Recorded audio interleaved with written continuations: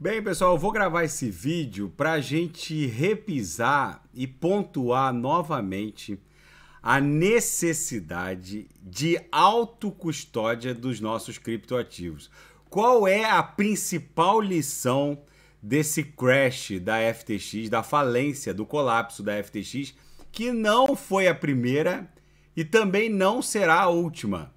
O, o, a desistência de compra da FTX pelo CZ acaba botando o CZ, o dono da Binance, que foi é, instado a comprar a FTX no meio da madrugada. Ele recebeu um telefonema do Bankman Fried é, dizendo que não tinha mais como honrar os pedidos de resgate. E, obviamente, o CZ assinou uma carta de intenção para que pudesse ter acesso aos livros contábeis da FTX quando ele descobriu o rombo de mais de 8 bilhões de dólares. Qual é a principal lição do crash da FTX? A gente sabe que é a máxima é, norte-americana que um monte de influencers falam: not your keys, not your coins. Se você não tem as chaves privadas, você não tem as suas coins. Gente, quem quiser aprender tudo sobre autocustódia, é só assinar o Clube Ouro. É importantíssimo a gente ter a autocustódia das nossas, dos nossos criptoativos. Eu opero no mercado de futuros na Fairdesk e recomendo vocês a também fazê-lo. Eu já operei na FTX por um tempo, mas aqui, ali, tanto na Fairdesk quanto na FTX, quando eu operava, eu tinha um. Eu, eu, eu, eu, eu deixo custodiado na Fairdesk um valor ínfimo.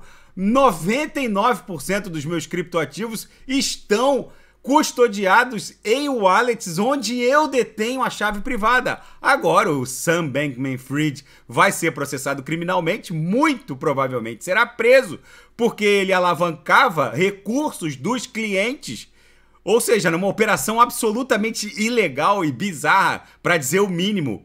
É, a Alameda Research, que era o braço de investimentos da, do grupo FTX, simplesmente fez doações para campanhas democratas com recursos dos clientes.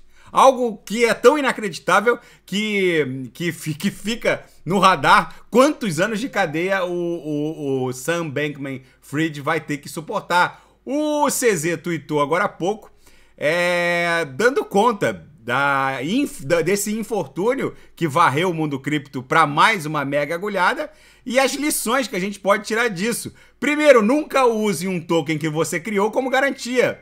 O que que o Bankman Fried fazia, gente?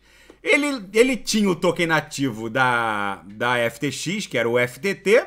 Ele pegava recursos dos clientes para colocar como, como margem de garantia em operações alavancadas com o próprio token dele. Não peça emprestado se você administra um negócio de criptomoedas. Foi o que ele fez. Ele simplesmente pegou os recursos dos clientes, depositado como saldo, o meu saldo, o saldo da minha esposa, o saldo do, do, do Joãozinho, da Mariazinha, e simplesmente é, é, ofertava o, o, o FTT que ele criou, que tinha como lastro os saldos dos clientes. Ou seja, é, aí o CZ conclui que a Binance nunca usou BNB como garantia, que é um token que eles criaram, é o gás da BEP2 da Binance Chain e da BEP20 da Binance Smart Chain.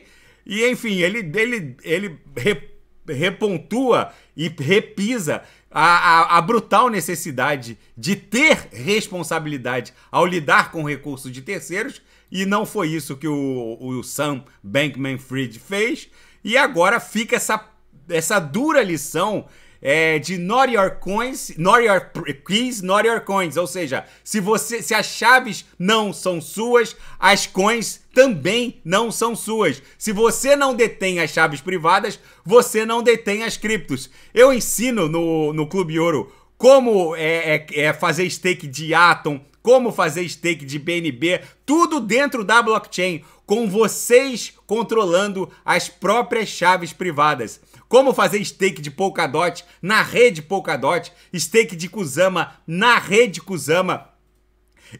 É, o, o stake de Avax na rede Avalanche é, é, é, é, um dos mais rentáveis que eu tenho. Eu simplesmente, mesmo com toda essa corretiva do mundo cripto, eu pago as despesas é, mensais aqui de casa só com o produto do, do, do stake de Avax. E o, imagina quando essa altcoin voltar a testar os topos é, dela. É, é absolutamente rentável o, o pro, viver de stake dentro de, da, das principais altcoins que, que, que ostentam a, os, os, os, melhores algoritmos de Proof of Stake, já que eles serão, essas altcoins serão a base da Web3 e é preciso fazer stake vocês dentro da blockchain, onde vocês dominam as respectivas chaves privadas, porque não adianta deixar no stake bloqueado da Binance porque se o CZ quebrar é difícil, mas pode acontecer do mesmo jeito que era difícil o Bankman Fried quebrar. Se o CZ quebrar,